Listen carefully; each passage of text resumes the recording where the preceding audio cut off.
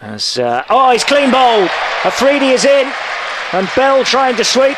Afridi with the trademark now stands there with his arms aloft. He got slightly frustrated with not managing to find the boundary, but I think he was actually doing a pretty good job, Colin. He was he was striking at nearly 200 and